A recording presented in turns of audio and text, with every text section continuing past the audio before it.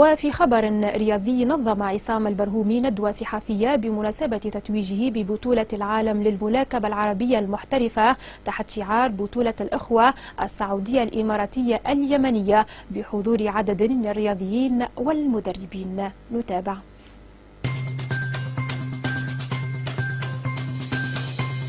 عملت اليوم الندوة الصحفية هذه بمناسبة حصولي على بطولة عالم المحترفين للملاكمة العربية اللي صارت في اليمن في مدينة حضرموت. donc آه، اليوم عملت ال conférence de presse هذه باش آه، نعرف بالملاكمة العربية.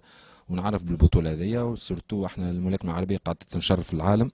donc آه، والمسؤولية نتاعي بعد الحصول على اللقب هذايا معناها المسؤولية نتاعي لازم نشر الفن هذايا في, تونس. وبالطبيعه ال conférence de presse هذه باش نكرم الناس اللي ساندتني واللي تعبت معايا واللي وقفت معايا في البطولة هذيا. وباش نكرم المدربين اللي ترينيت عندهم من الصغرى وتربيت عندهم. باش نكرم برشا أبطال اللي تعبوا ومثلوا تونس معناها إن شاء الله فهمني؟ donc voilà titre champion du monde de boxe عرب هو لقب آه، عالمي رقم 14 وفي رصيد زيد 24 لقب عالمي ما بين المرتبة الأولى والثانية والثالثة. donc الحمد لله معناها آه، أول آه، الوحيد في العالم اللي يكون 14 مرة بطل العالم في ثمانية اختصاصات في نفس الوقت. وإن شاء الله برا تعرضت الإصابة في البطولة هذه لكن مش نرتاح نعمل روبو وإن شاء الله عندنا آه، تحديات جديدة وإن شاء الله باش نشاركوا في بطولات أخرى باش نمثلوا تونس إن شاء الله. البطولة شارك فيها 16 بطل عالمي.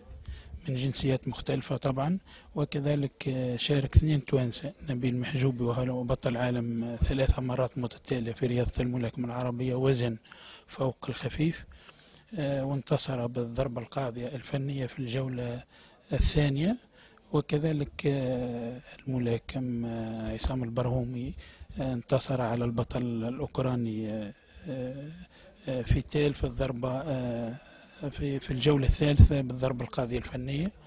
طبعا ونحن دوما لخدمة الرياضيين التونسي التونسيين وإشعاع تونس وخاصة آه، في هذه الظروف التي تمر بها بلدنا. ونحن من منذ سنة 1972 ونحن نخدم في في في صورة تونس. طبعا نظمنا العديد من البطولات إن كانت بالجزائر إن كانت بتونس نظمنا بطولة عالم بمنزرت وكذلك كأس تونس ونظمنا كذلك بطولة عالمية آه، بجابس.